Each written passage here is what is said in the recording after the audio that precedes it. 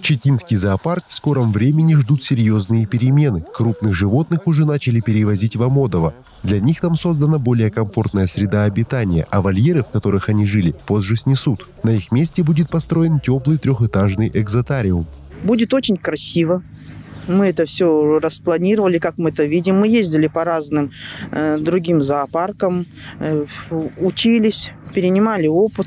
И здесь у нас мы сделаем чисто экзотических животных. Это обезьянки, это змейки, ну, это все, кто теплолюбивые, рыбки и так далее. Здесь же также будут комплексные э, развлекательные для детей игровые комнаты. Будет у нас очень большой зал, где мы будем также демонстрировать фильмы из нашей жизни. Проект нового экзотариума уже готов на бумаге. Работники зоопарка планируют презентовать его в администрации Читы и получить финансирование.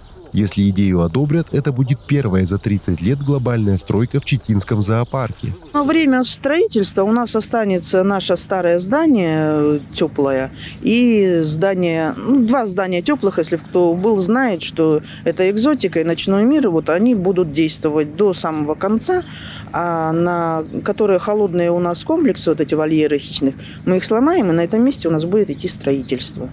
Как только оно завершится, мы из зданий старых переселяем экзотических животных в новое.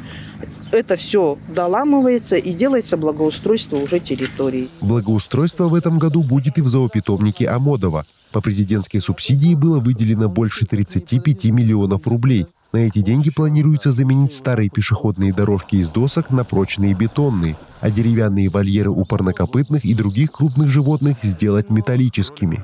Мы делаем все для того, чтобы народу было удобно. Э, тем же э, людям с ограниченными возможностями, чтобы они могли сюда приехать и на колясочке спокойно везде проехать, все посмотреть. Потому что сейчас все равно почва песчаная, в некоторых местах у нас люди не могут пройти.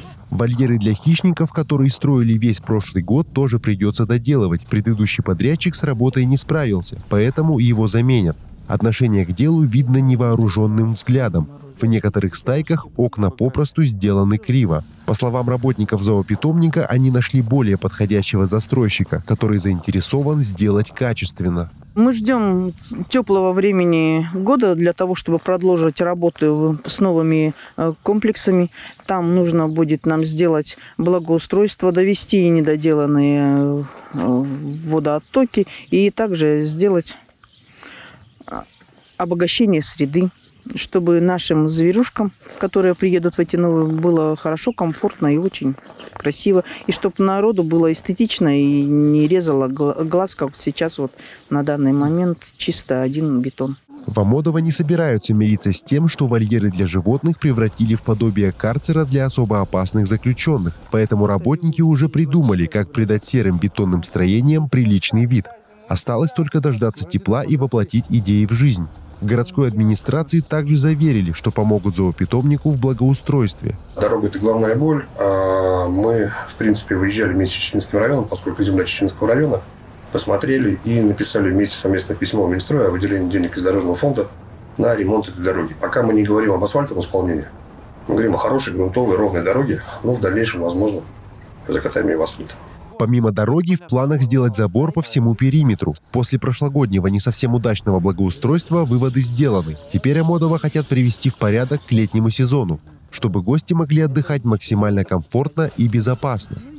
Григорий Анипер, Даниил Ботвинский, Антон Носов, Владимир Николаев, РТК Забайкалье.